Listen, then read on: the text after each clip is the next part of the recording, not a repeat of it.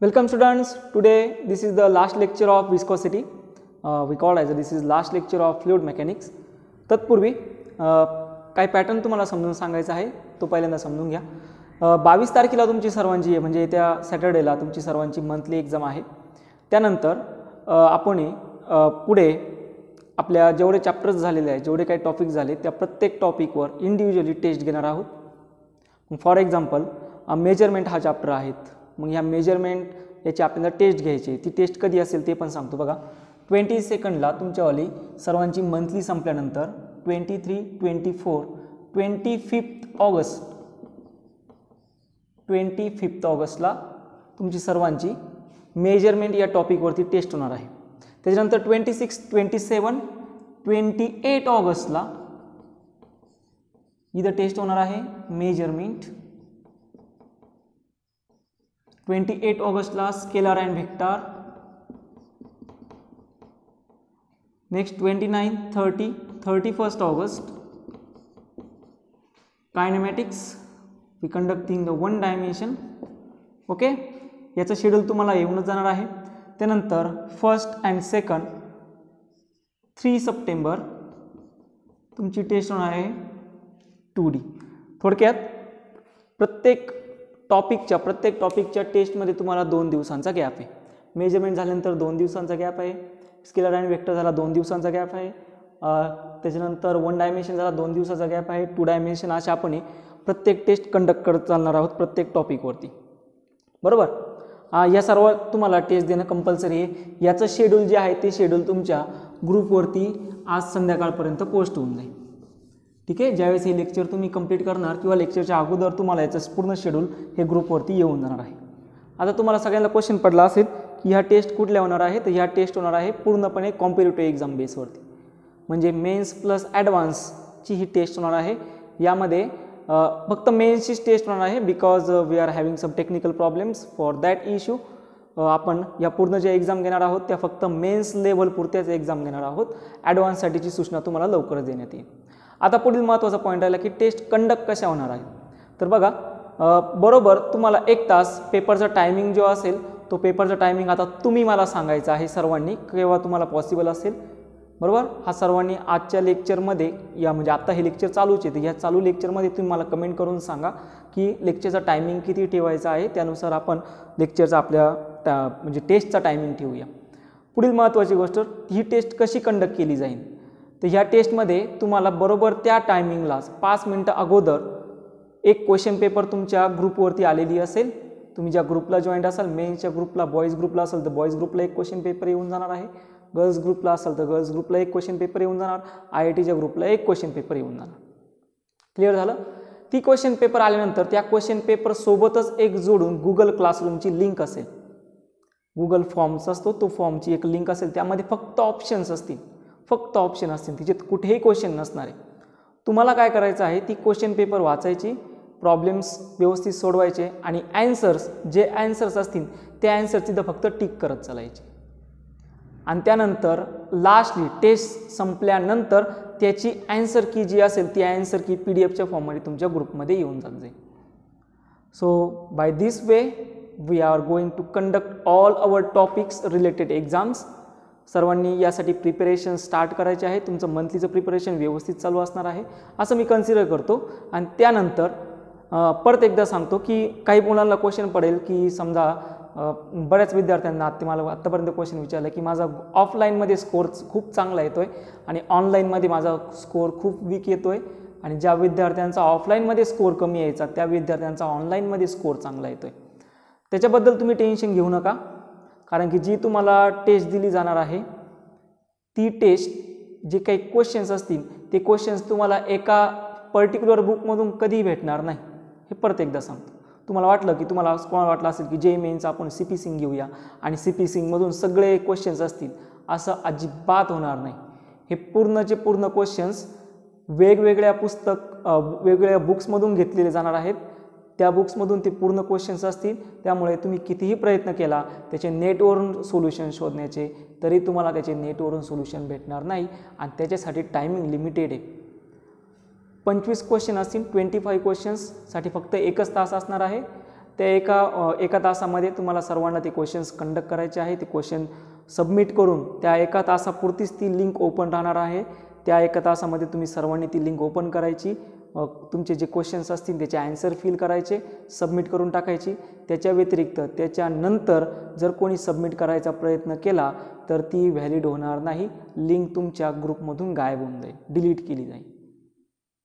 So for दिस सर्वांनी seriously आपली growth बघून आपला झालेला अभ्यास बघून जवळजवळ आता चार महिने होत आलेत. चार महिन्यामध्ये आपण जेवढं काही घेतलं त्याच्यानंतरचा जेवढा त्याच्या अगोदर जेवढा काय सिलेबस आपण कंडक्ट केला आहे त्या सर्वांवरती आता आपण टेस्ट घेणार आहोत. एक टेस्ट सिरीज लॉन्च करतो आहे फ्रॉम दॅट टेस्ट सिरीज ज्यावेळेस आपलं कॉलेज चालू होईल कधी चालू होईल हे सांगता येत नाही. पण फॉर एक्झाम्पल असं पकडलं की पंधरा किंवा पंधरा सप्टेंबरपासून जर कॉलेज चालू झालं तर कॉलेज चालू झाल्यानंतरसुद्धा आपल्या टेस्टचं शेड्यूल हे सेमच असेल. ओके सो सर्वांना ही गोष्ट व्यवस्थित समजली असेल. तुम्ही फक्त मला काय सांगायचं आहे? तुमचा टेस्टचा टायमिंग किती ठेवायचा? तुम्ही फक्त एवढंच सांगायचं आहे. बाकीचं वेगळं कुठलंही सजेशन द्यायची गरज नाही. ही तुमच्यासाठी आहे आणि ही तुम्हाला टेस्ट देणं कंपल्सरी आहे. आपण ही सगळ्या टॉपिकची रिव्हिजन करून घेणार आहोत. मी कुठेही दोन चॅप्टर मिळून तीन चॅप्टर्स म्हणून टेस्ट ठेवलेलं नाही. प्रत्येक चॅप्टरची इंडिव्हिज्युअल टेस्ट ठेवलेली आहेत. प्रत्येक टॉपिकवरती ट्वेंटी फाईव्ह क्वेश्चन्स असतील. मेजरमेंटवरती पंचवीस क्वेश्चन्स स्केलर व्हेक्टरवरती पंचवीस क्वेश्चन्स त्यामुळे आणि ते एका बुकमधून नसेल त्यामुळे कोणाला असं वाटत असेल की सरांनी टाकलेले क्वेश्चन पेपर आपण नेटवर जाऊन सर्च करू तेवढ्या वेळेमध्ये तेवढ्या वेळेमध्ये कंप्लीट करू. हे होत नाही हे होऊ शकत नाही तुम्हाला त्याचे ॲन्सर इवन नेटवरती सुद्धा भेटणार नाही. सिरियसली प्रामाणिकपणे द्या. ज्या विद्यार्थ्यांना खरंच आत्तापर्यंत प्रॉब्लेम होता की माझा ऑनलाईनमध्ये स्कोर येत नाही आहे ऑफलाईनमध्ये येतो आहे त्यांचा हा पूर्ण प्रॉब्लेम इथं सॉल्व्ह होऊन जाणार आहे. तुम्हाला प्रत्येक टॉपिकमध्ये दोन दिवस दिले.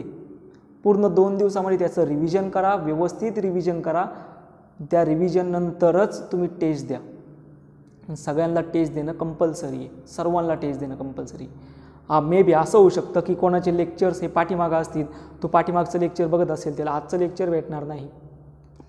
This is not my fault माझे सगळे लेक्चर हे तुम्हाला रेग्युलर भेटत आहे तुम्ही रेग्युलर लेक्चर बघत नाही.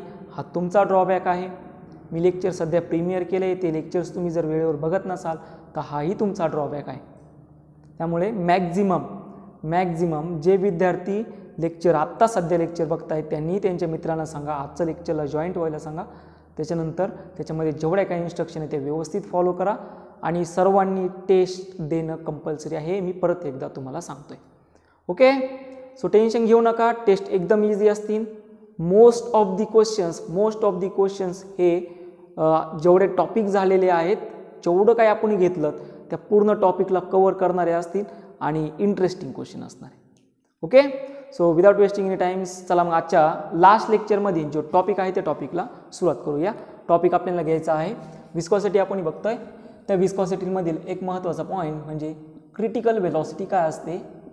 Critical velocity and one more is Reynolds number Reynolds number काय असतं हे? समजून घेऊया. चल.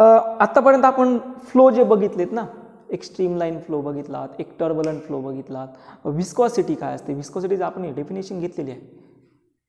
बरोबर? विस्कॉसिटीमध्ये viscosity actually is the property of fluid in which the relative motion between the layer are experience some force and this force is called as a drag force or we called as a this drag force which is also called as a viscous force. Because of that viscous force, their velocity goes on decreases. हे आपण घेतलेलं आहे मागच्या लेक्चर्समध्ये माझा question असा आहे की क्रिटिकल वेलॉसिटी आणि रेनॉल्ड्स नंबर सगळ्यात सुरुवातीला मी घेतो क्रिटिकल वेलॉसिटी कशाला म्हणायचं क्रिटिकल वेलॉसिटी ठीक आहे मला हे समजलं की जो विस्कस फोर्स आहे because of that viscous force it's velocity goes on changes but again one question is whether this flow we are taking in observation it is a streamline or turbulent flow? Question असा आहे ज्या फ्ल्यूडची velocity कमी झाली ज्या layer of फ्लुइडची फ्ल्यूडच्या ज्या लेअरची velocity कमी झाली कारण की घेत असताना आपण या ठिकाणी असे नंबर ऑफ लेयर्स घेतले होते. बरोबर ना? आणि ह्या प्रत्येक different layers of fluid having different velocity then such type of fluid is called as a viscous flow such type of flow is called as a viscous flow याला आपण simple काय भाषेत म्हणलो होतो? विस्कस फ्लो म्हणलो होतो. मग याच्यामध्ये सुरुवातीला क्वेश्चन असा आहे का हा जो फ्लो तुम्ही घेतला हा जो फ्लो तुम्ही घेतला आहे वॉटरचा फ्लो हा स्टेडी फ्लो होता स्ट्रीमलाईन फ्लो होता की टर्बुलंट फ्लो होता? स्टेडी फ्लो तर obviously we form form as a is a arrow then is is called as a streamline flow steady फ्लोला आपण कन्वर्ट केला ॲरोने स्टेडी फ्लो असतो. मग घेत असताना हा जो फ्लो घेतला हा स्ट्रीमलाईन फ्लो आहे का टर्बुलंट फ्लो आहे? म्हणजे सगळ्यात मोठा क्वेश्चन असा आहे वेलॉसिटीवरून या वेलॉसिटीवरून आपण ही खरंच फाईन करू शकतो का एखादा फ्लो ठरू शकतो का? तो स्ट्रीमलाईन आहे की टर्बलंट आहे? हे आपल्याला बघायचं चला. सो म्हणजेच वेलॉसिटीवरून आपण डिस डेफिनेटली डिसाईड करू शकतो whether this flow is steady flow or turbulent flow आता हे कसं समजून घ्यायचं? त्याच्यासाठी मी फ्रिक्शनचा थोडासा आधार घेतो. बघा. न्यूटन्स लॉ ऑफ मोशनमध्ये आपण फ्रिक्शन घेतलं होतं. त्या फ्रिक्शनमध्ये एक होतं स्टॅटिक फ्रिक्शन एक होतं कायनेटिक फ्रिक्शन. बरोबर ना? एक काय होतं? स्टॅटिक फ्रिक्शन एक काय होतं? Kinetic friction. आता मी याचा जरा ग्राफ काढतो. असा ग्राफ होता. आणि या ठिकाणी या ठिकाणी एक व्हॅल्यू होती. त्या व्हॅल्यूला we call as a limiting value limiting value and from that limiting value static friction static friction is converted into kinetic friction. हे बरोबर आहे का? बोला सर्वांनी. हे बरोबर आहे की नाही? एक लिमिटिंग व्हॅल्यू भेटते. त्या लिमिटिंग व्हॅल्यू नंतर स्टॅटिक फ्रिक्शनचं कायनेटिक फ्रिक्शनमध्ये कन्वर्जन होऊन जातं. हे कुठं घेतलं आहे न्यूटन्स लॉ ऑफ मोशनमध्ये बरोबर? कन्फर्म आता फ्लुइड डायनॅमिक्समध्ये इथंही एक दो फ्रिक्शन्स आहेत.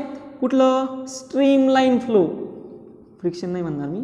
स्ट्रीमलाईन फ्लो या स्ट्रीमलाईन फ्लोचं टर्बलंट फ्लोमध्ये टर्बलंट फ्लोमध्ये कन्वर्जन होतं.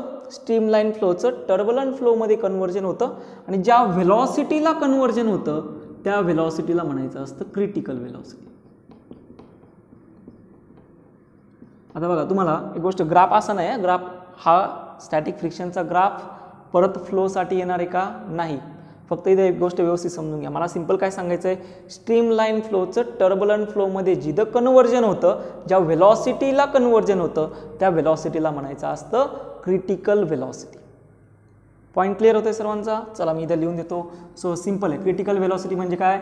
The velocity beyond which streamline flow is converted in to turbulent flow here is a very simple.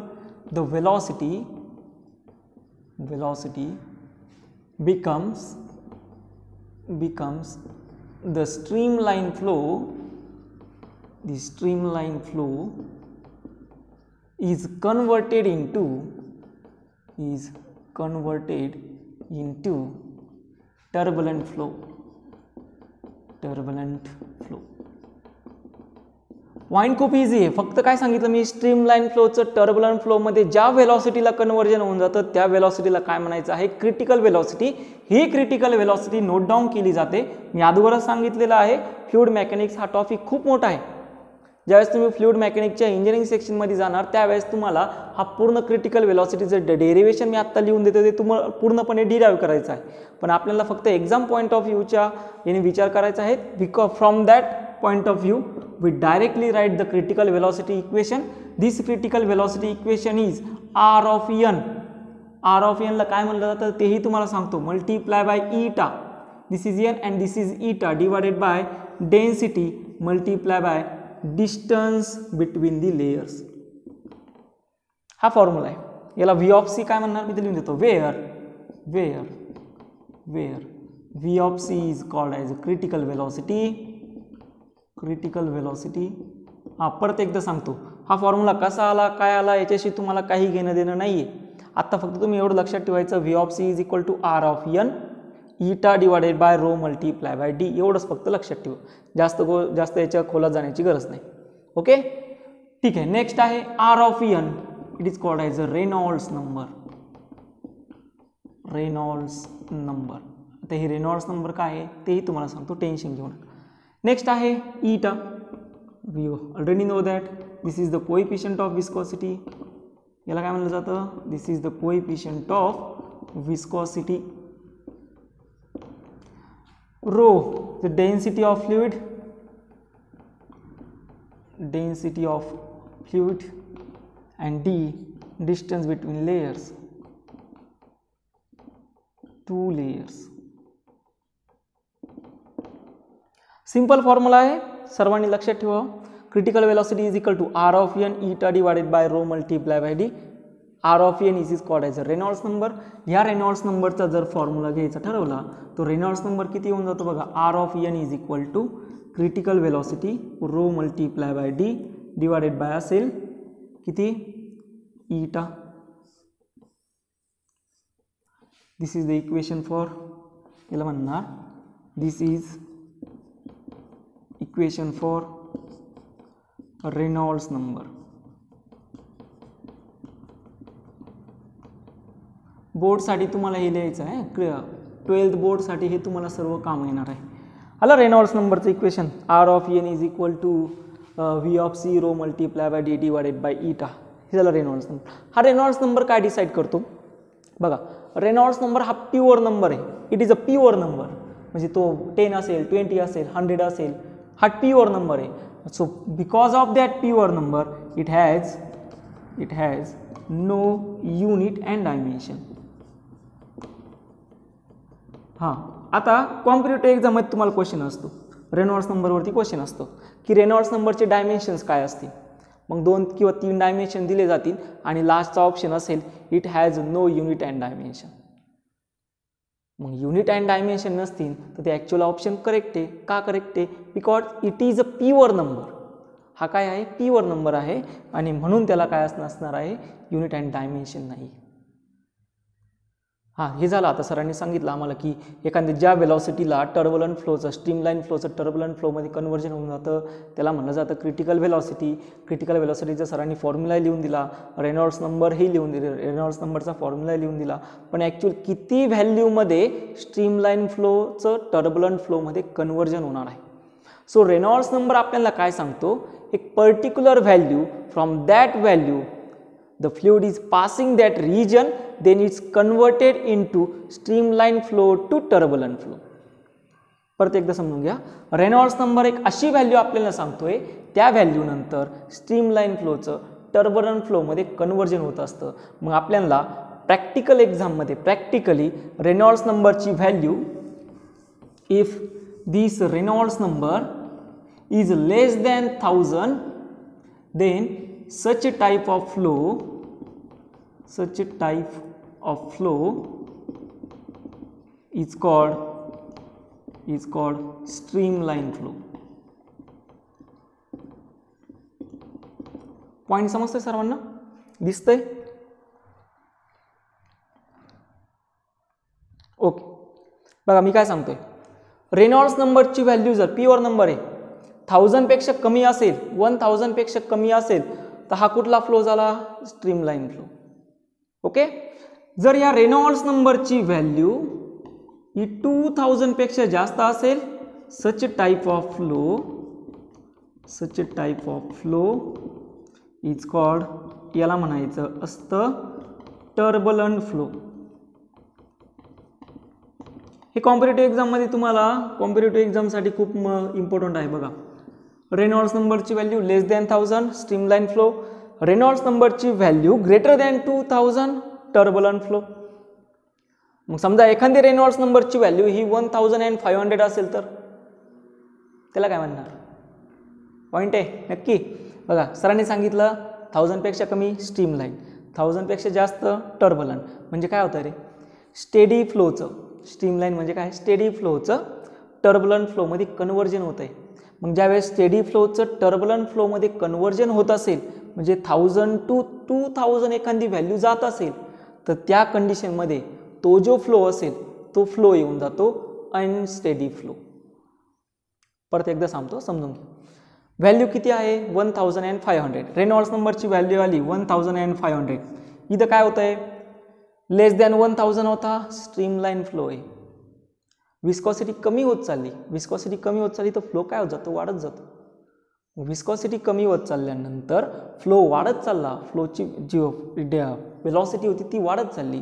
आणि फ्लो कन्वर्ट होत चालला. थाउजंड टू टू थाउजंड आणि या थाउ थाउजंड टू टू थाउजंडमध्ये एक व्हॅल्यू आली one thousand and five hundred मग in this condition this streamline flow is converted in to turbulent flow then if Reynolds number are in between 1000 to 2000 then such a type of flow is called as a unsteady flow. तो steady असेल का? अजिबात नाही. कारण त्याचं conversion होते त्याला काय म्हणणार आपण?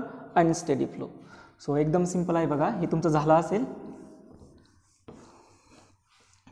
Okay less than thousand streamline flow greater than two thousand turbulent flow and if this Reynolds number are in between are in between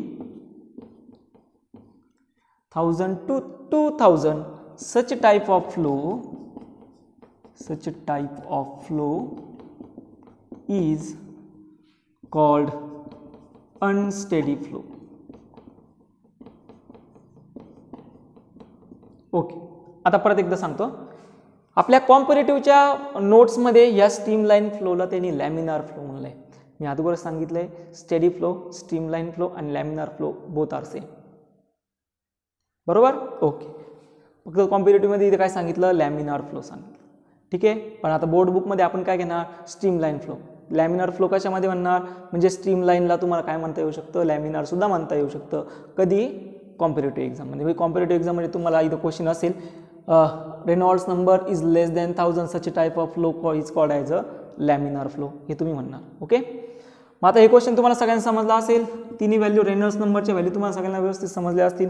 Less than thousand streamline flow greater than two thousand turbulent flow in between thousand two two thousand then it is a unsteady flow okay आणि हे सगळं कशामुळं झाले? Critical वेलॉसिटीमुळे critical velocity म्हणजे conversion झालं stream लाईनचं turbulent वेलॉसिटीमध्ये टर्बुलंट फ्लोमध्ये बरोबर? आणि ही वेलॉसिटी कधी वाढणार आहे? व्हेरी गुड वेलॉसिटी कधी वाढणार आहे? ज्या वेळेस विस्कॉसिटी कमी होणार आहे त्यावेळेस. मग विस्कॉसिटी कधी कमी होणार? सो नेक्स्ट पॉईंट आहे depends on viscosity rate of flow of viscosity is depends on some parameters so आपण पुढे घेणार viscosity dependent parameters viscosity dependent or we call as affected viscosity affected factors. जे actual flow जो liquid flow होतं आहे जे काही liquid flow होतं आहे लिक्विड फ्लो होण्यासाठी त्यावर ड्रॅक फोर्स अप्लाय करावा लागतो. Because of that drag force we call as a viscous force their viscosity to be change आणि हे कशामुळे होतं? लिक्विड जर असेल तर कोहेझिव्ह फोर्समुळे होतं. तर कोहेझिव्ह फोर्स म्हणजे अट्रॅक्शन बिटवीन सेम मॉलिक्युल्स आणि गॅसेसमध्ये जर घेतलं तर गॅसेसमध्ये तिथं काही कोहेझिव्ह फोर्स नाही आहेत मग तिथं जे मॉलिक्युल्स असतात जे काही गॅस मॉलिक्युल्स असतात ते रँडमली फ्लो होत असतात आणि रँडम मोशनमुळे तिथं विस्कॉसिटी डेव्हलप होते. कारण की गॅस आणि लिक्विड हे दोन्ही काय झाले? गॅस आणि लिक्विड हे दोन्ही जनरली आपण याला फ्ल्यूड म्हणत असतो. बरोबर? ओके म्हणजे आता गॅसमध्ये तुम्हाला समजलं असेल की जेवढे काही मॉलिक्युल्स असतात ते सर्वचे सर्व मॉलिक्युल्स रँडम मोशनमध्ये असतात आणि फ्रॉम दॅट रँडम रँडम मोशनमध्ये नंबर ऑफ कोलिजन होतं. आणि त्या नंबर ऑफ कोलिजनमुळे त्यांची वेलॉसिटी कमी होऊन जाते किंवा काहींची वेलॉसिटी वाढते. ही वेलॉसिटी कमी होणं किंवा वाढणं हे डिपेंड्स जनरली सांगत असतं की गॅसेस मॉलिक्युल्समध्ये सुद्धा विस्कॉसिटी प्रेझेंट असते. ओके? हा पॉईंट तुम्हाला क्लिअर झाला असेल? सो आता असे कोणते फॅक्टर्स आहेत जे ॲक्च्युअल विस्कॉसिटीवरती एफेक्ट करतात? बरोबर? मग ते पहिलं आहेत ऑन टेम्परेचर पहिला पॉईंट आहे टेम्परेचर बघा टेम्परेचर वाढल्यानंतर काय होणार आहे? इफ टेम्परेचर इन्क्रीजेस सिंपल आहे. विस्कॉसिटी डिक्रीजेस लिक्विडमध्ये टेम्परेचर वाढलं विस्कॉसिटी काय होणार आहे? कमी होणार आहे. गॅसेसमध्ये आता हे तुम्ही शोधायचं गॅसेसमध्ये काय असेल? ओके? पहिला फॅक्टर आला टेम्परेचर सेकंड आहे प्रेशर ओके सेकंड आहे प्रेशर प्रेशरमध्ये काय होणार आहे? जर प्रेशर वाढलं तर विस्कॉसिटी काय होतं ते समजून प्रेशर जर वाढलं तर विस्कॉसिटी सुद्धा वाढते. समजून घ्यायचं? एकदम सोपं आहे. प्रेशर प्रेशर इन्क्रीज झालं विस्कॉसिटी ऑब्विसली इन्क्रीज होणार आहे. If pressure decreases pressure decreases obviously viscosity also decreases but in gas in gas viscosity viscosity does not does not depend on pressure आता हा फरक कशामुळे येतो because we take a gas molecule it is a compressible and we take a liquid इक्वि it is a incompressible या दोन याच्यामुळे generally हा इथं डिफ हा जो डिफरन्स असतो तो डिफरन्स तुमच्यासमोर येतो. की प्रेशरमुळे इथं विस्कॉसिटी चेंजेस होते तर गॅस मॉलिक्युल्सची जी विस्कॉसिटी चेंज होणार आहे ती कुठेही प्रेशरवर डिपेंड्स नाही. Okay and last one on nature of fluid त्या फ्ल्युइडचं नेचर कसं आहे? त्यानुसार त्याची विस्कॉसिटी काय होत राहणार आहे? चेंज होणार आहे. सो हे जनरल तीन पॅरामीटर्स आहे ते तीन पॅरामीटर्स विस्कॉसिटीवरती इफेक्ट करत असतात त्यामधील पहिला आहे टेम्परेचर सेकंड आहे प्रेशर आणि लास्टचं आहे त्या फ्ल्यूडचं नेचर कसं असेल. ओके हा पॉईंट समजला सर्वांना? Okay now in dynamics the last topic we are going to study and is that Stokes law Ben Stokes नाही इंग्लंडचा क्रिकेट प्लेअर बेन स्टोक्स नाही. परत एकदा सांगतो व्यवस्थित समजून घे it is not the Ben Stokes it is a George Stokes आणि तिने खूप भारी एक्सप्लेनेशन दिलं. आणि तोच लॉ आपण घेतो आहे Stokes law Stokes law and terminal velocity interesting आहे Stokes law and terminal velocity okay हे पाऊस पडतोय ना बाहेर? नक्की? कन्फर्म ना? पाऊस चालू असेल म्हणजे बाहेर जाऊ नका. पाऊस चालू आहे सर्वांकडं? ओके व्हेरी गुड पाऊस चालू आहे. सगळीकडे पाऊस चालू आहे. कधी कोणी असं ऑब्झर्वेशन केलं का रे? समजा हा अर्थचा सरफेस असेल. या सरफेसवरती तुम्ही सर्व इथं उभे आहात. बरोबर ना? इथं खेळताय मस्तपैकी. आता लॉकडाऊनमुळे नसेल तर बरं खेळताय. आणि तुम्ही काय ऑब्झर्वेशन केलं आहे का? एखादा ऑब्जेक्ट आहे. For example rain drop we consider as a rain drop आणि here is a rain drop and it's obviously it is a at a distance मी त्याला सांगतो का हा टू किलोमीटर एवढ्या डिस्टन्सवरती आहे. टू किलोमीटर एवढ्या डिस्टन्सवरती ठीक आहे? हा रेन ड्रॉप आहे. This is a rain drop व्यवस्थित समजून घ्या. एकदम भारी. हा रेन ड्रॉप आणि या ठिकाणी एक असं प्लेन येते आणि त्या प्लेनमधून this is the plane okay plane plane आणि ह्या प्लेनमधून एखादा पर्सन असेल तुमचाच मित्र असेल आणि त्याने काय केलं? एक स्टोन घेतला. स्टोन स्टोन दगड. स्टोन तोही किती डिस्टन्सवरती आहे? टू किलोमीटर रेन ड्रॉपसुद्धा किती डिस्टन्सवरती आहे? टू किलोमीटर बरोबर? आणि रेन ड्रॉप खाली येतोय. सेम टाईममध्ये स्टोनसुद्धा खाली येतोय. सिच जनरली असं होऊ शकत नाही म्हणा. म्हणजे तुम्ही बघू शकत नाही की एक एक रेन ड्रॉप या ठिकाणी आहे तो असा खाली येतो आहे असं बघू शकत नाही. पण मी एक केस कन्सिडर केली. ह्या केसमध्ये एक रेन ड्रॉप आहे. ॲक्च्युली टू किलोमीटरवरती प्लेन आहे. प्लेनमधून एक दगड सोडला. स्टोन आहे. स्टोन जनरली फॉल होतो आहे तोसुद्धा किती किलोमीटरवरती आहे? टू किलोमीटरवरती ही दोन्ही सिच्युएशन झाले फ्री फॉलिंग ऑब्जेक्टचे या फ्री फॉलिंग ऑब्जेक्टमध्ये जी व्हेलॉसिटी भेटली ग्राउंडला जी व्हेलॉसिटी भेटते ती व्हेलॉसिटी असते root of two G H एवढी. बरोबर आहे? कन्फर्म आहे? नक्की फ्री फॉलिंग ऑब्जेक्टसाठी ही वेलॉसिटी असते. V is equal to root two G H एवढी. हीच वेलॉसिटी आपल्या जे इक्वेशन्स घेतलं आहे स्पीड ऑफ ई फ्लक्समध्ये सुद्धा आपण फाईंड केली. बरोबर ना? Velocity V is equal to root of two G H okay काय सिच्युएशन असेल? सिच्युएशन म्हणजे काय? हां इथं तुम्ही दोघं जण आहेत किंवा एकच आहे. चला एकच पकडूया. ठीक आहे? हा एक पर्सन आहे तो ऑब्झर्व करतोय. सगळ्यात अगोदर ग्राउंडला कोण येणार? या ग्राउंडला एवढ्या सेक्शनमध्ये सगळ्यात अगोदर कोण येणार? चला कमेंट बॉक्समध्ये सांगा. सगळ्यात अगोदर कोण येतं? You are having two minutes पटकन सांगा. सगळ्यात अगोदर कोण येणार? रेन ड्रॉप येणार का स्टोन येणार? बघा दोघांसाठी व्हेलॉसिटी सेमच आहे. मी परत एकदा सांगतो दोघांसाठी व्हेलॉसिटी सेमच आहे. V is equal to root of two G H एवढीच व्हेलॉसिटी आहे. कुठेही ती व्हेलॉसिटी मासवरती डिपेंड नाही आहे हे प्रूफ घेतलं आहे आपण. हे प्रूफ घेतलं आहे का जे फ्री फॉलिंग ऑब्जेक्टसाठी जी वेलॉसिटी असते तीच वेलॉसिटी एखाद्या लिक्विड ड्रॉपसाठी सुद्धा असते. इट इज अ प्रूफ हे प्रिव्हियस लेक्चरमध्ये घेतलं. मग आता दोन्ही ऑब्जेक्ट जर दोन किलोमीटरवरून खाली येत आहे तर सगळ्यात अगोदर कोण पोचणार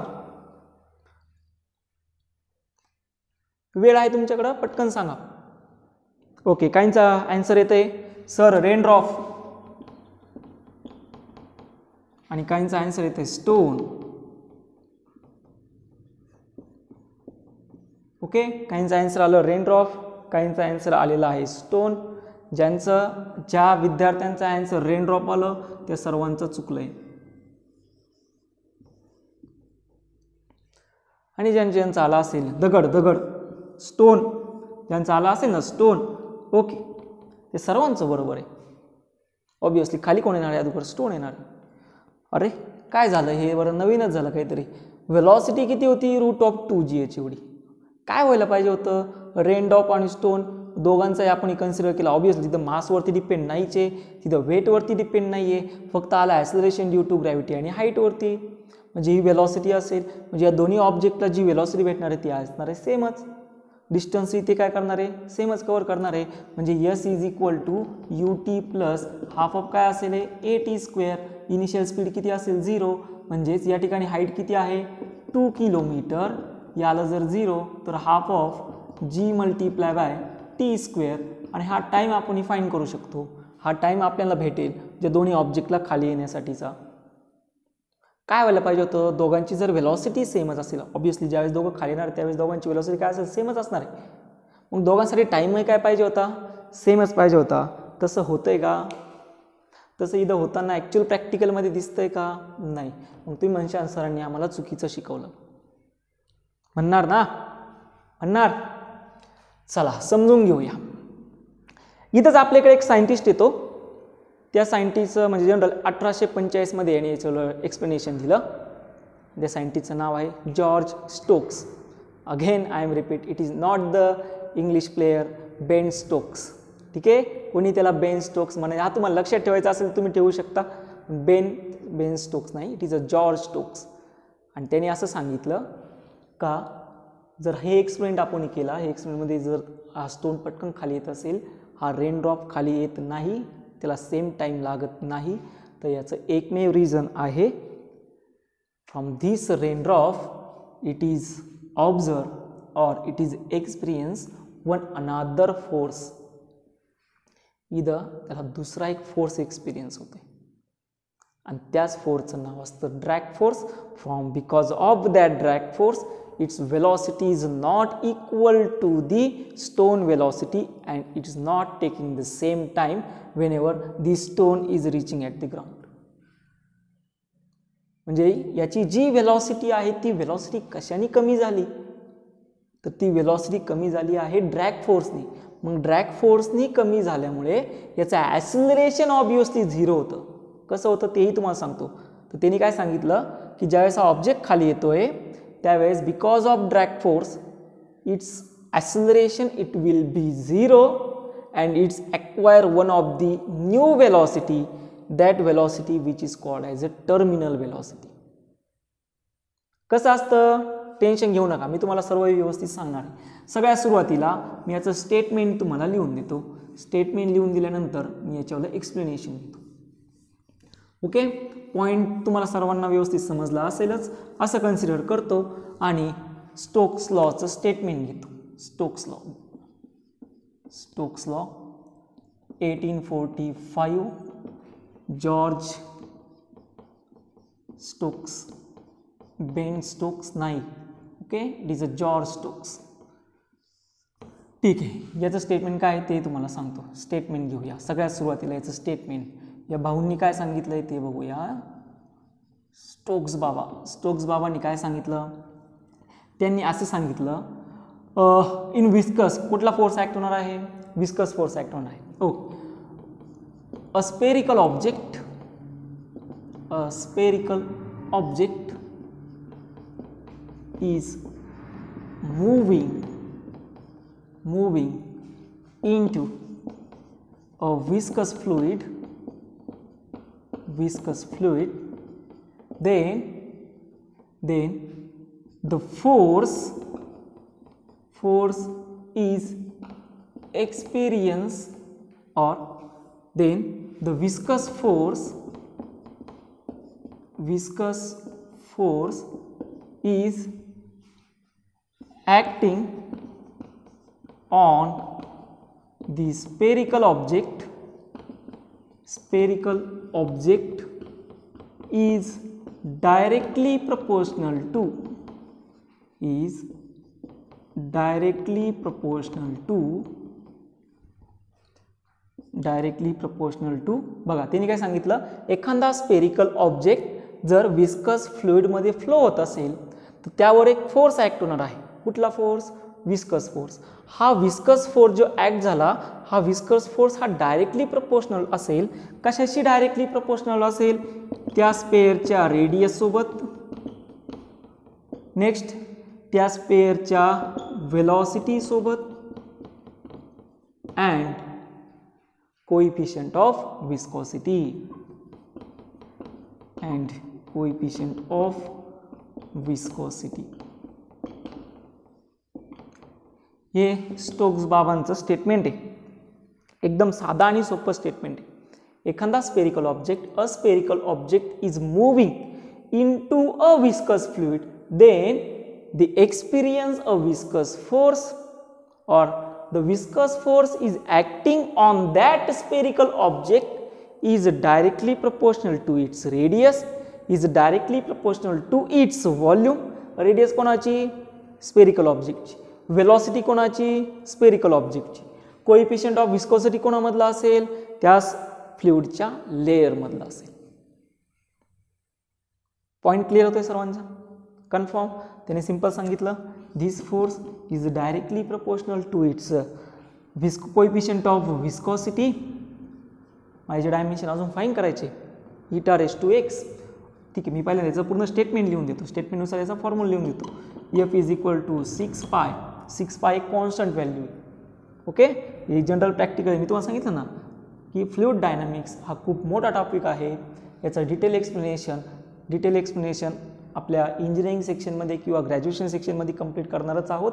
सध्या आपल्याला फक्त एक फॉर्म्युला लक्षात ठेवायचा आहे. म्हणजे सिक्स पाय कसं येतं हे तुम्ही ज्यावेळेस इंजिनिअरिंगला जाणार त्यावेळेस तुम्हाला समजेलच. फक्त आता एक सो सिंपल साधा सोपा एक फॉर्म्युला लक्षात ठेवा.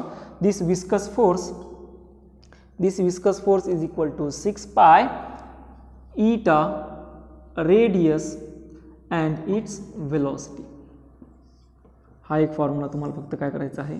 लक्षात ठेवायचा okay eta raise to one raise to one V raise to one याचं मॅथमॅटिकल प्रूफसुद्धा आपण घेणारच आहोत. म्हणजे याचे डायमेन्शन ॲनालिसिसनुसार आपण याला फक्त फाईन करणार आहोत.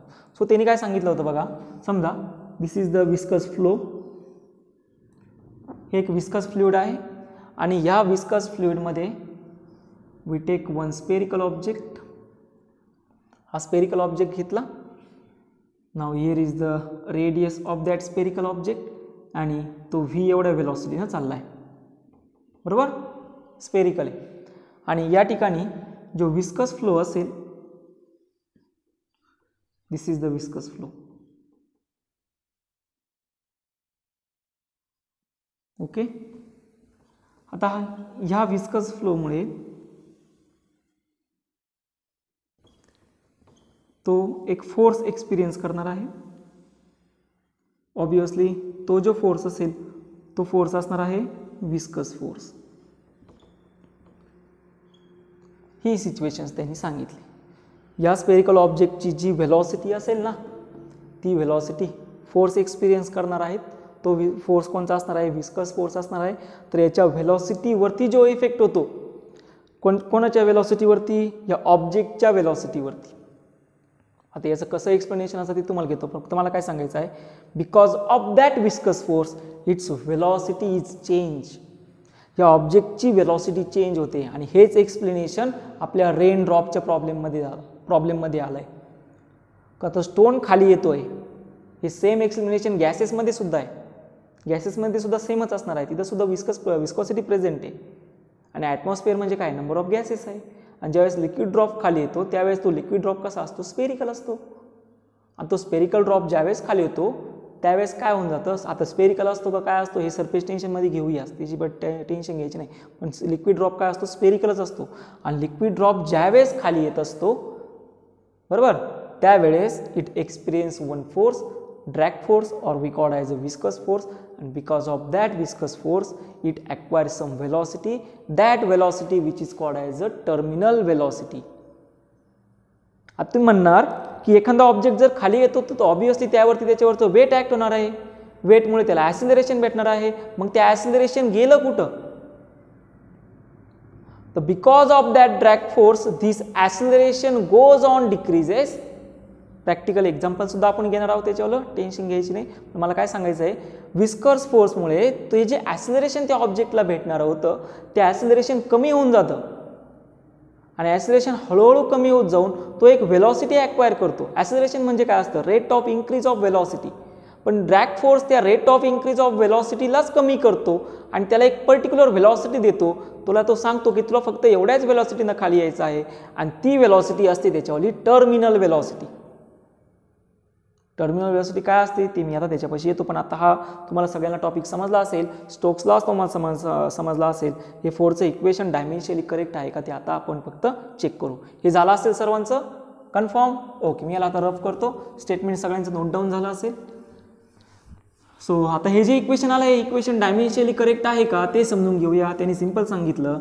हा जो ॲप्लाय होणारा फोर्स आहे this force viscous force is directly proportional to the coefficient of viscosity त्याला आपण पॉवर घेऊया. एक्स त्यानंतर इट्स रेडियस त्याला पॉवर घेतो वाय अँड इट्स वेलॉसिटी त्याला पॉवर घेतो Z by using dimension analysis dimension ॲनालिसिसनुसार या याची व्हॅल्यू आपण फाईन करूया. सुरुवात करूया. चला मग F of V is equal to इथं घेतो मी K eta raise to x R raise to y आणि व्ही रेस टू काय असेल Z फोरचे dimension M one L one T minus two बरोबर? के कोएफिशियंट ऑफ विस्कॉसिटीचे डायमेन्शन इटाचे dimension सगळ्यांना माहिती ना?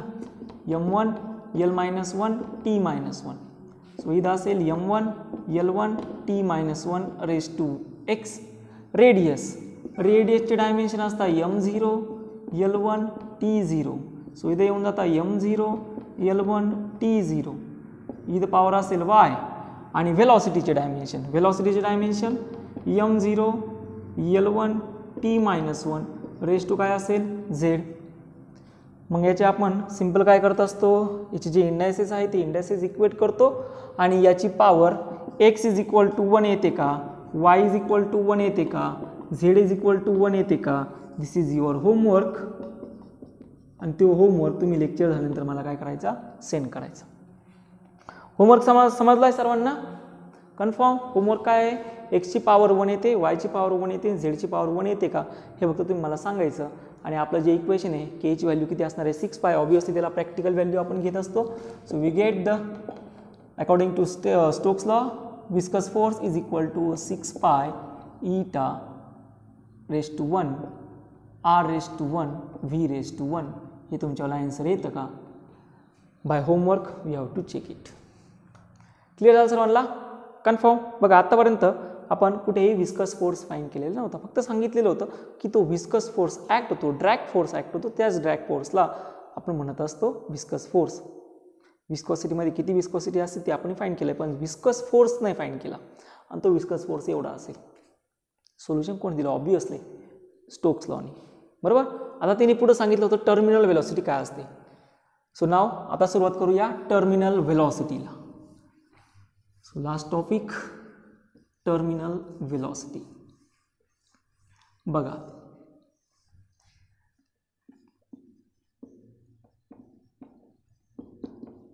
टर्मिनल वेलॉसिटी कसं समजून घेऊया? काय करू? एक कंटेनर घेऊ. चला. So we take one container here is a one container obviously या कंटेनरमध्ये लिक्विड आहे. ठीक आहे? Okay this is the liquid एक एक्झाम्पलसुद्धा आपण घेतलं आहे कसं घेतलं? तुम्हाला लगेच आठवेल बघा. मी काय करतो? एक स्टोन आहे. Here is a one spherical stone आणि हा ड्रॉप केला. तर हा ड्रॉप केला तर इथून एवढी याच्यावरली हाईट असते यच एवढी. आणि is acquire the velocity v is equal to root two g h आणि त्यानंतर तो स्टोन जो असेल तो असा इथून खाली येत जाणार आहे. हे ती कंडिशन समजली सर्वांना? ओके स्टोन सिंपल आपण वरून सोडून दिला.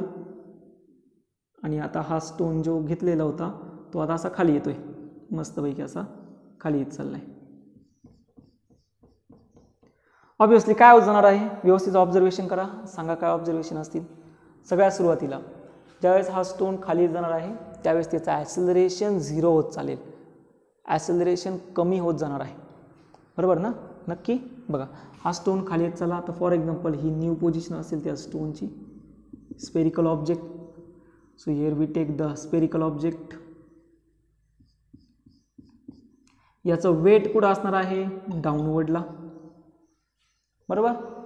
कन्फर्म ओके त्यानंतर हे फ्लुईडसुद्धा याच्यावरती एक फोर्स अप्लाय करतो. तो फोर्स असतो बयोन्सी फोर्स हा कुठं असेल? अपवर्डला आणि याचं जे ॲसिलरेशन असणार आहे ते ॲसिलरेशन काय होत जाणार आहे? कमी कमी होत जाणार आहे. बरोबर? कन्फर्म ओके आता हे जे फ्लुइड असेल यामध्ये विस्कॉसिटी प्रेझेंट असणार आहे विस्कस फ्लुइड आहे. मग viscous fluid presence of viscous fluid velocity डाऊनवर्डला असेल त्या वेलॉसिटी एक्झॅक्टली अपोजिट कोण असतं? ड्रॅग फोर्स असतो. This is the drag force F of D बरोबर ना? आत्ता फाईन केला. त्याला एफ ऑफ व्ही सुद्धा म्हणू शकतो किंवा हां ठीक. F of v this is the viscous force और we called as a drag force मग आता ह्या विस्कस फोर्समुळे याची जे ॲसिलरेशन असेल त्या ॲसिलरेशन झिरो होऊन जातं. ॲसिलरेशन झिरो झाल्यानंतर बघा याचं ॲसिलरेशन जरी झिरो झालं ॲसिलरेशन म्हणजे काय? Rate of increase of velocity मग याची rate of increase of velocity जरी कमी झाली तर तो ऑब्जेक्ट तिथं स्टॉप होणार आहे का? परत समजून घ्या. आता ह्या सपोज मी असं करतो ऑब्जेक्ट स्पेरिकल ऑब्जेक्ट आपण सोडून दिला आणि ह्या कंडिशनला ह्या पर्टिक्युलर सिच्युएशनला त्याची rate of increase of velocity zero झाली. मग rate of increase of velocity zero झाली तर हा ऑब्जेक्ट इथंच थांबेल का याच्या बॉटमला पोहोचणार? ऑब्विसली बॉटमला पोहोचणार. मग बॉटमला पोहोचत असताना किती वेलॉसिटीनं बॉटमला येणार? त्या वेलॉसिटीला म्हणलं जातं टर्मिनल वेलॉसिटी बघा. एकदा का त्या ऑब्जेक्टचं ॲसिलरेशन झिरो झालं म्हणजे त्या ऑब्जेक्टची rate of increase of velocity zero झाली का त्यानंतर तो ऑब्जेक्ट स्पेरिकल ऑब्जेक्ट एका पर्टिक्युलर व्हेलॉसिटीना मूव्ह होत असतो आणि त्या व्हेलॉसिटीला म्हणायचं असतं टर्मिनल व्हेलॉसिटी पॉईंट क्लिअर झाला आहे सर्वांचा? कन्फर्म बघा काय झालं? Whenever the acceleration of the object is start goes on it decreases.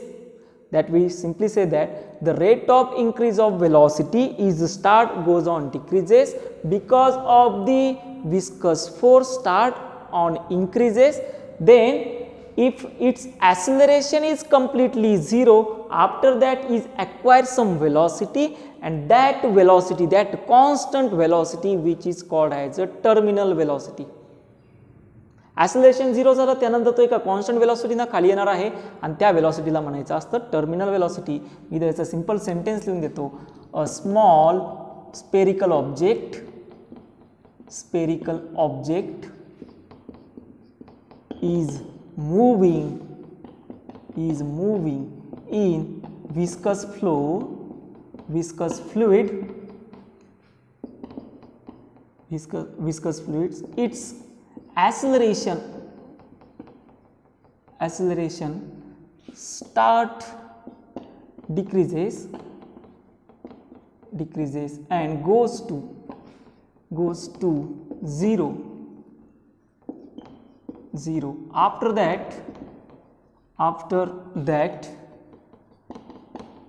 the spherical object the spherical object is moving is moving with with constant velocity constant velocity and this velocity this constant velocity is called याला म्हणायचं असतं terminal velocity is called as Terminal velocity एकदम साधा आणि सोपं आहे. ऑब्जेक्टचं acceleration because of viscous force it's acceleration is zero आता तुम्ही म्हणणार आत्तापर्यंत आपण जेवढे प्रॉब्लेम सॉल्व केले त्या पूर्ण प्रॉब्लेममध्ये आपण वेट घेतला होता आणि वेटच्या एक्झॅक्टली अपोजिट बयॉन्सी फोर्स घेतला होता. इथं कुठेही आपण घेत असताना विस्कस फोर्स आलेला नव्हता. पण एक गोष्ट लक्षात घ्या ते फ्ल्युड म्हणताना सुद्धा ते फ्ल्यूड कोणचं होतं? स्टेडी फ्ल्यूड होतं किंवा स्ट्रीम लाईन फ्लुईड होतं. हे जे फ्ल्यूड आहे हे फ्ल्यूड कोणचं आहे? विस्कस फ्ल्यूड आहे. दोघांमधला फरक समजला? आत्तापर्यंत घेत असताना आपण फक्त आयडियल फ्ल्यूड घेतलं होतं. त्या आयडियल फ्ल्यूडचे कंडिशन तुम्हाला माहिती आहे ते फ्लुईड नॉन विस्कस पाहिजे. But in this situation practical situation fluid कधीही नॉन विस्कस पॉसिबल आहे का? अजिबात नाही. हा पॉसिबल कधी होणार? टेम्परेचर वाढवलं तर. आता सध्या तुम्ही टेम्परेचर वाढवताय का त्याचं नाही from this situation this fluid is non this fluid is a viscous fluid because of that viscous fluid one force one another force is responsible to change their acceleration or change your rate of increase of velocity so it acquire some velocity that velocity which is called as a terminal velocity आता आपल्याला काय करायचं आहे? हे terminal वेलॉसिटीचं equation fine करायचं. मग हे equation कसं फाईन करणार? तर यासाठी आपण या ठिकाणी सिंपल काही इक्वेशन्स ऑफ मोशन यूज करणार. म्हणजेच हा जो स्पेअर आपण घेतला आहे त्याची फ्री बॉडी डायग्राम आपण या ठिकाणी ड्रॉ करणार आहोत. करायची सुरुवात मग? फ्री बॉडी डायग्राम सगळ्यांना येते? बघा काय झालं? ज्यावेळेस हा ऑब्जेक्ट खाली येत होता हा ऑब्जेक्ट खाली यायला सुरुवात झाली. सुरुवात झाल्यानंतर काय होतं बघा? इमॅजिन करा. हा ऑब्जेक्ट खाली येतोय. पहिल्यांदा याचं ॲसिलरेशन काय होणार आहे याचं खाली वाढत जाणार आहे. गुरुम खाली सोडला ना ॲसिलरेशन काय होणार आहे? Rate of increase of velocity वाढत जाईल. मग जशी याची rate of increase of velocity वाढत जाईल पहिल्यांदा ड्रॅग फोर्स काय असेल? कमी असेल. आता rate of increase of velocity वाढत गेली तर ड्रॅग फोर्स काय जाणार आहे? वाढत वाढत जाणार आहे. म्हणजे ॲसिलरेशन खाली ड्रॅग फोर्स काय जाणार त्याला? वाढत जाणार. ड्रॅग फोर्स इन्क्रीज करायला सुरुवात झाली तर rate of increase of velocity काय होणार? डिक्रीज होणार. मग rate of increase of velocity decrease झाली ड्रॅक फोर्स वाढत गेला. इतका वाढला म्हणजे ड्रॅक फोर्स एवढा इन्क्रीज झाला का तो इक्वल होता वेट आणि बयोन्सी फोर्स एवढा. बघा परत सिच्युएशन काय परत एकदा समजा सांगतो. हा ड्रॉप असा खाली यायला सुरुवात झाली याचं ॲसिलेशन वाढते पहिल्यांदा ड्रॅक फोर्स कमी होता. जसा हा फ्लूडच्या विस्कस फ्लूडच्या कॉन्टॅक्टमध्ये आला तसा हा ड्रॅक फोर्स वाढायला सुरुवात झाली. इन्क्रीज व्हायला सुरुवात झाली. जसा ड्रॅग फोर्स इन्क्रीज व्हायला सुरुवात झाली पहिल्यांदा त्याचा rate of increase of well velocity काय होतं? वाढत वाढत चालला होता. पण ड्रॅग फोर्स जसा इन्क्रीज व्हायला सुरुवात झालं rate of increase of velocity काय होणार? डिक्रीज होणार आहे. मग rate of increase of velocity कुठपर्यंत डिक्रीज होणार? ज्यावेळेस हा drag force is equal to असेल किती वेट आणि इज इक्वल टू असेल किती? बायोन्सी फोर्स एवढ्या. म्हणजे ह्या दोघांचा डिफरन्स जो असेल त्या डिफरन्स एवढा ह्या दोन्ही फोर्सच्या डिफरन्स एवढा. जर तुमचा ड्रॅक फोर्स आला तर net force act on that spherical object is zero हा पॉईंट सगळ्यांना पटतोय?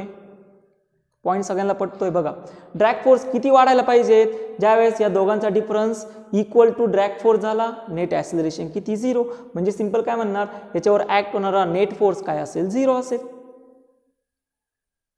बरोबर? मग सिंपल आपण काय घेणार या ठिकाणी? इक्वेशन ऑफ मोशन यूज करणार. हे सगळ्यांचं झालं असेल कन्फर्म चला मी याला रफ करतो. सो बघा सिच्युएशन काय आहे? तर rate of increase of velocity वाढते. Rate of increase of velocity कुठपर्यंत वाढत चालणार आहे? ज्यावेळेस हा rate of increase of velocity केव्हा झिरो होणार आहे?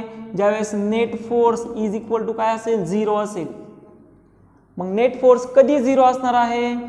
ज्यावेळेस ड्रॅक फोर्स किंवा viscous force a is equal to असेल वेट मायनस बयॉन्सी फोर्स एवढा in that situation in that situation drag force in that situation net force is zero आणि आता इथं नेट फोर झिरो झाला म्हणजे नेट ॲसिलरेशन काय झालं? झिरो नेट ॲसिलरेशन झिरो झालं म्हणजे rate of increase of velocity zero झाली आणि rate rate of increase of velocity zero झाली. त्यानंतर ऑब्जेक्ट हा बॉटमपर्यंत पोहोचणार एका कॉन्स्टंट वेलॉसिटीने हे इथं वेगळं होतं टर्मिनल वेलॉसिटीच्या कंडिशनमध्ये म्हणजे असं नाही की तुम्ही ऑब्जेक्ट खाली सोडला आणि त्याचे ॲसिलरेशन होतं two metre per second square आणि इथं पोहोचला त्यावेळेस त्याचं ॲसिलरेशन आलं two metre per second square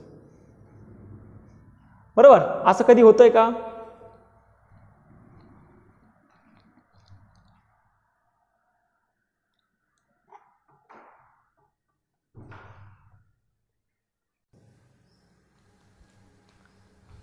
बघा कन्फर्म कंडिशन समजली सर्वांना. सिंपल इक्वेशन ऑफ मोशन आहे. काय आहे इक्वेशन ऑफ मोशन बघा पहिल्यांदा इक्वेशन ऑफ मोशन घेतो. वेट डाऊनवर्डला खाली येतो ना? वेट डाऊनवर्डला बयोन्सी फोर्स अपवर्डला म्हणजे दोन्ही काय आले? अपोजिट आणि नेट फोर्स झिरो करायचा. म्हणजे हे दोन्ही इज इक्वल टू किती पाहिजे? विस्कस फोर्स एवढे. म्हणजे हे विस्कस फोर्स ज्यावेळेस या दोघांच्या इक्वल असेल त्यावेळेस नेट फोर्स काय असणार आहे? झिरो नेट फोर्स झिरो आला net acceleration zero rate of increase of velocity is zero after that is moving with velocity and that velocity is terminal velocity आता ती टर्मिनल वेलॉसिटी किती असते ते आपल्याला फाईंड करायचं. चला सगळ्यात सुरुवातीला जी विस्कस फोर्स आहे तो विस्कस फोर्स टाकून घेऊ. विस्कस फोर्स किती आहे? सिक्स पाय eta R multiply by V आणि ही व्हिलॉसिटी आहे त्याच्यावाली टर्मिनल वेलॉसिटी वेट किती असतं? Weight is equal to M G mass is equal to density multiply by volume या ठिकाणी मी रो म्हणतो. This is the density of we called as a rho zero density of object spherical object density of spherical object आणि त्या फ्लुईडची काय density असेल त्याला म्हणूया rho so this is the density of viscous fluid density of viscous fluid okay ठीक आहे. Weight is equal to काय असतं? M multiply by G mass म्हणजे काय असतं? Density multiply by volume volume किती आहे? Four by three pi r cube त्यानंतर असेल पुढं डेन्सिटी डेन्सिटी किती आहे? रो झिरो मल्टिप्लाय बाय काय असेल? ॲसिलरेशन ड्यू टू ग्रॅव्हिटी आणि बायोन्सी फोर्स ऑब्वियसली बायोन्सी फोर्ससुद्धा तेवढाच असणार आहे. तो वॉटरने ॲक्ट केलेला असेल four by three pi r cube density multiply by acceleration due to gravity आलाय सर्व? सगळ्या व्हॅल्यू भेटल्यात. त्या सर्व व्हॅल्यू या इक्वेशनमध्ये सबस्टिट्यूट करून देऊया. हे सगळ्यांचं जर झालं असेल तर मी याला रफ करतो ओके डायग्राम तुम्हाला समजलेली असणारच आहे. चला मग व्हॅल्यू देऊया सबस्टिट्यूट करून. सो इथे येऊन जातं. Six pi six pi eta r multiplied by v this is the terminal velocity after that four upon three pi r cube rho zero multiply by g आणि पुढं असणार आहे minus four upon three pi r cube rho multiply by g common काय निघतो बघा? Four upon three pi r cube g common निघेल. मध्ये असणार आहे density of spherical object minus density of viscous fluid is equal to six pi eta r multiply by terminal velocity काय fine करायचं आहे? टर्मिनल वेलॉसिटी किती येऊन जाते? ती येऊन जाते टू अपॉन नाईन इथं असणार आहे आर स्क्वेअर त्यानंतर असेल जी अपॉन ती असते r square g r cube आहे ना? आर कॅन्सल होऊन जातो. जी डिवायडेड बाय असेल eta pi and pi also get corn cancel rho zero minus rho so this is the equation for त्याला म्हणणार this is the equation for terminal velocity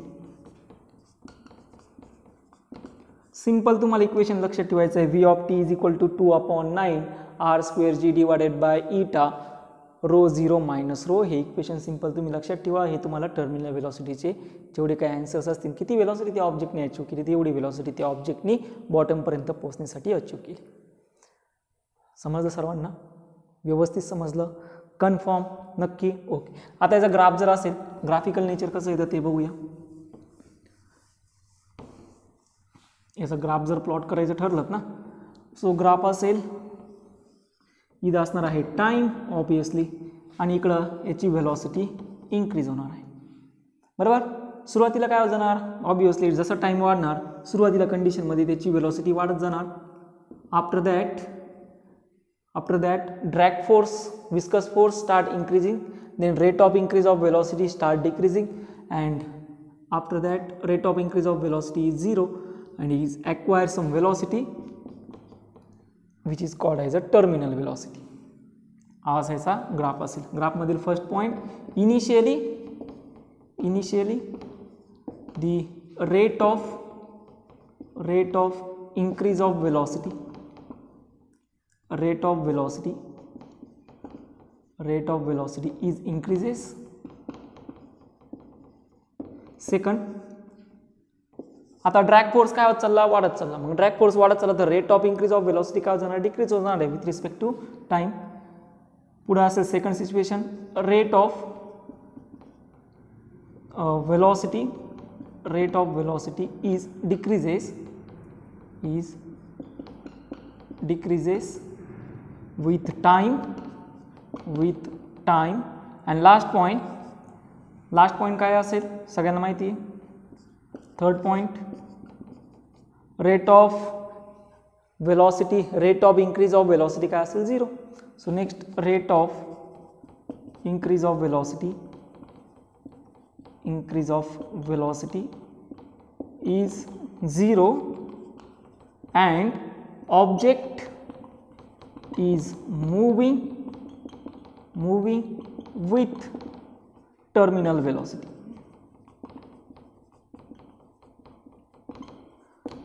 Okay so हा याचा graph आहे हे याचं इक्वेशन आहे आणि या ठिकाणी आपला पूर्णपणे फ्लुइड मेकॅनिकचा टॉपिक संपतो. तुम्हाला जर लेक्चर व्यवस्थित आवडला असेल तर नक्की लाईक आणि शेअर करायला विसरू नका. आणखी एक महत्त्वाची गोष्ट स्टोक्स लॉ आणि टर्मिनल वेलॉसिटीमध्ये क्रिटिकल वेलॉसिटी आणि रेनॉल्ड्स नंबरमध्ये जर कोणाला काही कन्फ्युजन असेल तर नक्की शेअर करा. नक्की तुम्ही मला डाऊट्समध्ये कमेंटमध्ये सांगा की सर हा पॉईंट मला समजला नाही. तुमच्यासाठी तो रिपीट केला जाईल पण या ठिकाणी आपला फ्लुईड मेकॅनिक्स पूर्णपणे कवर होतं आहे आता तुमच्यासाठी सर्वांसाठीचा एक होमवर्क होमवर्क काय आहे? हे तुमचं सगळ्यांचं झालं असेल तो होमवर्क सांगतो. आत्तापर्यंत जे तुम्ही एक्सरसाइज आत्ता कंप्लीट केली ती होमवर्क टास्कमधील क्वेश्चन नंबर फोर्टीनपर्यंत आपण सॉल्व केलेला आहे.